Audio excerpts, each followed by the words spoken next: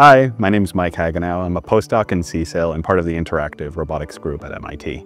My goal in robotics is to develop these really capable, highly intelligent robot teammates the kind of robots that you can rely on to help you with tasks, to do the mundane parts of the task that people don't want to do, but ultimately are relying on sort of the human skill that's necessary to complete many complex tasks that, really aren't possible through automation today. So my work here at MIT focuses in two areas, uh, teaching and teaming. So on the teaching side, I'm interested in how people can get data to robots for complex tasks, for example, in manufacturing. And on the teaming side, I'm interested how robots can work together with people to get complex work done. Here, I'm interested in trying to make sure that the robots taking on the physical burden of doing the task. So in manufacturing, many of the tasks that we look at are very um, taxing, ergonomically challenging. And so having robots assist is really beneficial, but robots don't always know what they need to do.